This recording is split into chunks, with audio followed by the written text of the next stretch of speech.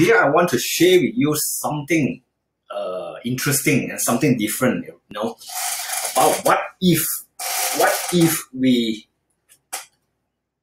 make the house installment from the general uh, standard like 30 years or 20 years or 35 years, what if we prolong it to 100 years, 200 years, or even 500 years, or even if there's a, if there is even any maximum of repayment, repayment, repayment period. Okay, so I just uh, want to look uh, at the, okay, just put it 4% to be fair, you know, could be like 5%. Okay, if you look at the general 500,000 of uh, property, right, and with 50,000 down payment, which is like a 450,000 loan. So over the 35 years, you're actually paying like 386,000 interest. You know, if you add up with your capital, it will be like um,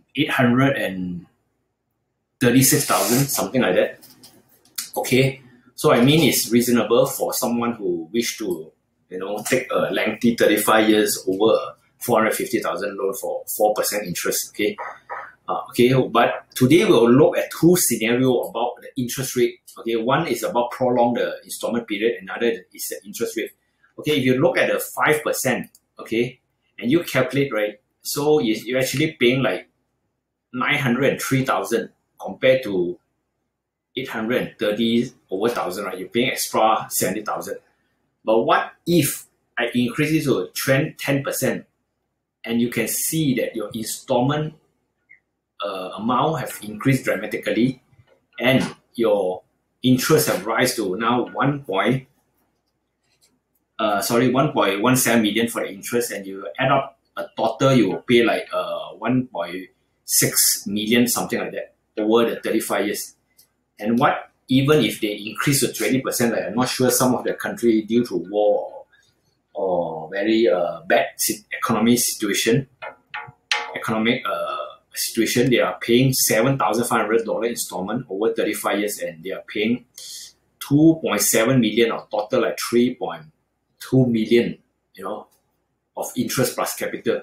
So that's a very dramatic. And if you look at the principal, which you only reduce a very, very low uh, capital and pay nearly, you pay like 1 million of interest just in the 12 years and you barely re reduce only 4,000 of your capital. Okay, so that's a very shocking thing about interest rate. Okay, let's go back to the 4% and now, okay, let's put it 5%. Uh. Okay, now we will increase from 35 years to uh, probably 100 years. Okay, so normally the bank will allow you to borrow up to a maximum of 35 years or 70 years of age, whichever earlier. Okay, let's say you are age 50, so of course you can only borrow uh, 20 years up to 70 age. And if you are only 20 years old, of course you cannot loan up to 70, which is uh, 50 years. You can only loan from 20 to uh, 55, which 35 years. But what is, what if a bank allow you to borrow more than 35 years, say 100 years, meaning that you have to pay over a few generations, you know, so the installment will pass to the next generation. So when you die, of course, they will say uh, you have to give the next king. So the next king will take, take over the house. Of course, the house value will increase its values, but they will have to keep on paying the installment.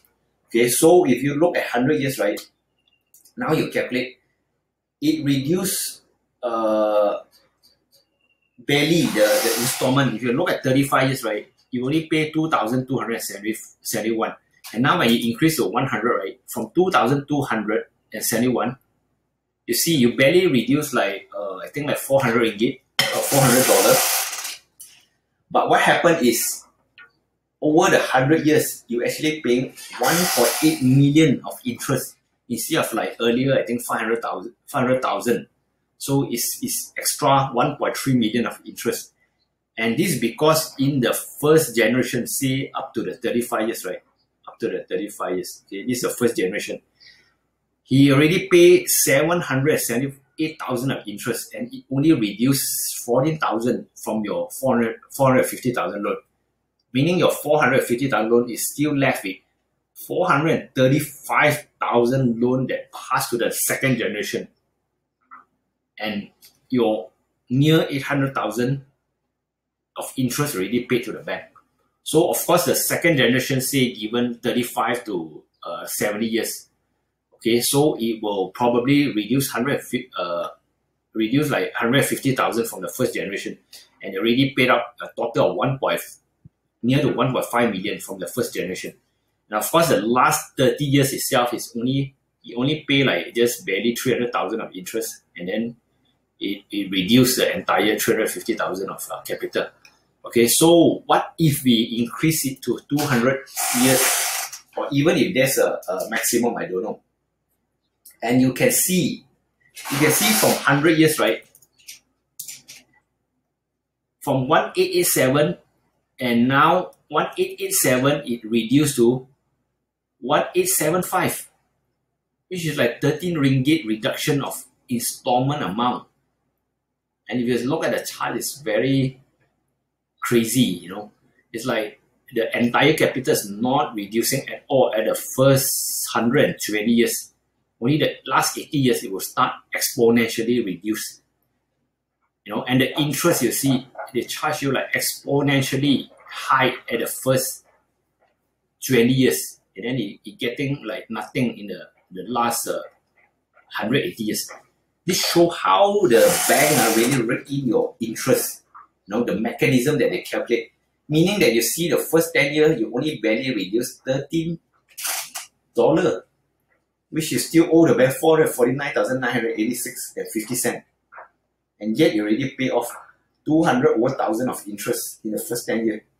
And if you even look at the the the, the 100 years, right, it only barely reduced 3,000 of your capital. With balance 446 from 450,000 of capital loan that you borrow from bank. And you already paid off 2.2 million of the interest. And if you look at the end, you pay 4 million of interest for 450,000 loan. And this sure crazy.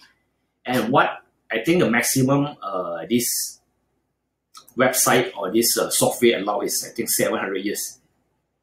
And if you look at 700 years and and 200 years, right, I, I, I really suspect there's no different. 1875 of installment, 1875 and 9 cent, 1875 uh, 1875 and now 7 year, 1875. It reduced by 9 cent of your installment by increase 500 years of installment. I don't know what is happening. You know, why does this happen by reducing 9%? Because it doesn't reduce your capital at all. Meaning you see zero, zero, zero. What the the, the bank system calculate is it, it's not to say barely reduce, it's totally never reduce your interest, your capital amount at all. And this is outrageous, it's shocking and totally crazy. So in the 700 years, I don't know what happened. Your capital is not is not reduced at all. And at the end of a four, because you didn't reduce your, your, your interest, right? You already pay 15.7 million and still owe the bank. So perhaps it's forever. You have to pay your installment 1008 forever and you still owe the bank for a 450,000. You know, meaning for 500,000 house, right? If you keep on passing the, the, the house loan for the, like, say, 20 or 23 generation, you like virtually give free money to the bank. You know, and the bank, you still owe the bank like like initial amount, like nothing. You still it doesn't reduce at all your, your the debt.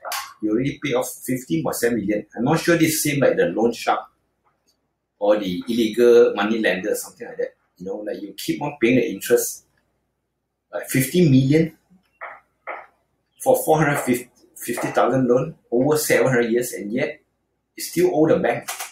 The house still belongs to the bank. By end of 700 years, you still haven't paid off the debt. The bank still own the house. Perhaps your house will worth like 500,000 will worth like 5 million over the 700 years or maybe 10 million and the bank still own the 10 million. Perhaps unless you sell the 10 million, then you offset the 450,000, then you still get your 9 million, but you already pay off 50, 15 million of uh, interest over the several hundred years. So it doesn't make sense. No, so that's why the mechanism, like like like earlier I mentioned, like like even if you put it like uh, 50 years, say you are aged 20 to 70, you know, it makes sense to pay in one generation. You see how much the bank rate in your interest. 700,000, you know, over the, the 50 years by 2,000 payment, meaning that that when you keep paying, like, especially the first 20 years, you only reduce like barely 70,000 and you pay off 400,000. So that's the, the thing about bank uh, that let's say let's say you you you plan to uh, you plan to dump in some cash to reduce the capital after say 20 years because you loan 50 years right? Meaning like you age 20 to 40 when you at age 40 you have the cash right? You already pay off the bank 440 20,000 interest and you reduce only 70,000 and now you plan to dump in like 100,000 so even if you dump in also you already the bank already uh, makes 400,000 over the 20 years from you. So, so if you calculate uh, this 420,000 over whatever you loan, like, it's almost like 80% the bank is making from you.